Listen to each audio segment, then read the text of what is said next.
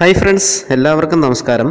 ഇന്നത്തെ വീഡിയോയിൽ square of എന്താണ് എന്നതിനെക്കുറിച്ചാണ് നമ്മൾ ഡിസ്കസ് ചെയ്യാൻ പോകുന്നത്. പലർക്കും അറിയാം മെജോറിറ്റി ആൾക്കാർക്കും അറിയാം.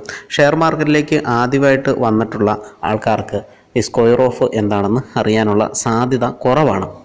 ഞാനും ഷെയർ മാർക്കറ്റിൽ വന്ന് ഏകദേശം ഒരു വർഷം കഴിഞ്ഞിട്ടാണ് സ്ക്വയർ ഓഫ് എന്താണ് എന്ന് മനസ്സിലാക്കുന്നത്. കുറച്ച് ആൾക്കാർ സ്ക്വയർ ഓഫിനെ പറ്റി ഡൗട്ട് ചോദിച്ചായിരുന്നു. അതുകൊണ്ടാണ് ഞാൻ ഈ വീഡിയോ ചെയ്യുന്നത്.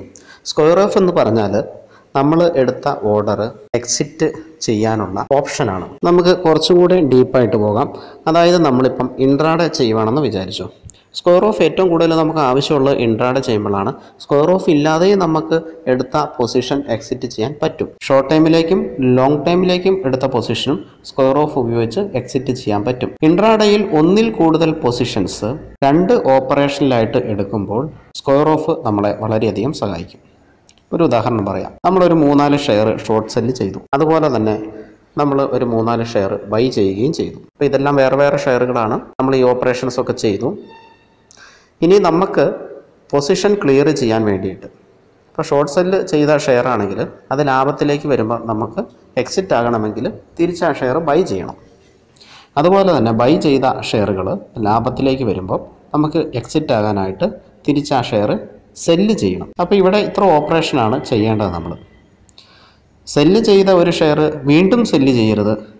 അതുപോലെ തന്നെ ബൈ ചെയ്ത ഒരു ഷെയർ വീണ്ടും ബൈ ചെയ്യരുത്.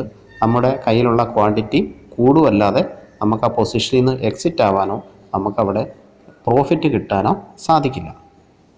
അപ്പോൾ സിമ്പിൾ മെത്തേഡാണ് ഷോർട്ട് സെല്ല് ചെയ്ത ഒരു സ്റ്റോക്ക് നമുക്ക് തിരിച്ച് ബൈ ചെയ്യണം. നമുക്ക് ഓപ്ഷൻ ഉണ്ട് അവിടെ. സ്കോർ ഓഫ് എന്ന് പറഞ്ഞ ഓപ്ഷൻ ഉണ്ട് ബൈ എന്ന് പറഞ്ഞ ഓപ്ഷൻ ഉണ്ട്.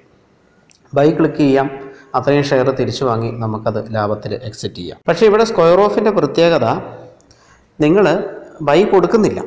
അതിന് പകരം സ്ക്വയർ ഓഫ് എന്ന് പറയുന്ന ബട്ടണാണ് ക്ലിക്ക് ചെയ്യുന്നതെങ്കിൽ അത് അവിടെ ഓട്ടോമാറ്റിക് എക്സ്ചേഞ്ചിലേക്ക് ബൈ എൻട്രി ആണ് പോകുക. അതാണ് ഇതിന്റെ പ്രത്യേകത. ഷോർട്ട് സെല്ല് ചെയ്ത ഒരു സ്റ്റോക്കിന് എഗെയിൻസ്റ്റ് നമ്മൾ സ്ക്വയർ ഓഫ് കൊടുക്കുമ്പോൾ എക്സ്ചേഞ്ചിലേക്ക് പോകുന്ന ഓർഡർ ബൈ ഓർഡർ ആയിരിക്കും. അതുപോലെ ബൈ ചെയ്ത ഓർഡർ നമ്മൾ സ്ക്വയർ ഓഫ് കൊടുക്കുമ്പോൾ എക്സ്ചേഞ്ചിലേക്ക് പോകുന്ന ഓർഡർ സെൽ ഓർഡർ ആയിരിക്കും. നമുക്കവിടെ ബൈയും സെല്ലും സെപ്പറേറ്റ് തിരഞ്ഞ് ഓർഡർ കൊടുക്കേണ്ട കാര്യമില്ല. അപ്പോൾ ഈ സംഭവം മനസ്സിലാക്കി കഴിച്ചിട്ടുണ്ടെങ്കിൽ നമ്മൾ മിക്കവാറും ബൈയും സെല്ലും ചെയ്യില്ല. അതായത് എക്സിറ്റ് ചെയ്യേണ്ട പൊസിഷനിൽ നമ്മൾ നേരെ അങ്ങ് സ്ക്വയർ ഓഫ് കൊടുക്കും. അതാകുമ്പോൾ നമുക്ക് അത്രയും കൂടെ ചിന്തിക്കേണ്ട കാര്യമില്ല. ഇത് ഞാൻ ഷോർട്ട് സെല്ലാണോ ചെയ്തത് അതോ ഇത് ഞാൻ ബൈ ആണോ ചെയ്തത് ഇത് പ്രോഫിറ്റിലേക്ക് വന്നു. ഇതിന് എഗേൻസ്റ്റ് ഏത് ഓർഡറാണ് ഞാൻ കൊടുക്കേണ്ടത് എന്ന് ചിന്തിക്കേണ്ട കാര്യമില്ല. സ്ക്വയർ ഓഫ് നേരിട്ട് കൊടുത്തു കഴിഞ്ഞാൽ നമുക്ക് എവിടെയാണ് നമുക്ക് ഏത് ഓർഡറാണോ അവിടെ എക്സ്ചേഞ്ചിലേക്ക് പോകേണ്ടത് ആ ഓർഡർ തന്നെ എക്സ്ചേഞ്ചിലേക്ക് പോകും. അപ്പോൾ ഇതിനാണ് സ്ക്വയർ ഓഫ് എന്ന് പറയുന്ന ബട്ടൺ ഉപയോഗിക്കുന്നത്. ഞാൻ വളരെ ഡീപ്പായിട്ട് സ്ക്വയർ ഓഫിലേക്കൊന്നും പോകുന്നില്ല. കാരണം ഇത്രയേ ഉള്ളൂ സംഭവം. ഇതിന്റെ ബേസിക് കാര്യം ഇത്രയേ ഉള്ളൂ. ഓക്കെ അതുകൊണ്ട് തന്നെ നമുക്ക് വീഡിയോ ഇവിടെ വൈൻഡപ്പ് ചെയ്യാം. പൈ പൈസയിലോ സെറോദയിലോ നിങ്ങൾക്ക് അക്കൗണ്ട് എടുക്കാൻ താല്പര്യമുണ്ടെങ്കിൽ ഡിസ്ക്രിപ്ഷനിൽ കൊടുത്തിട്ടുള്ള ലിങ്ക് ഉപയോഗിച്ച് അക്കൗണ്ട് എടുക്കാം.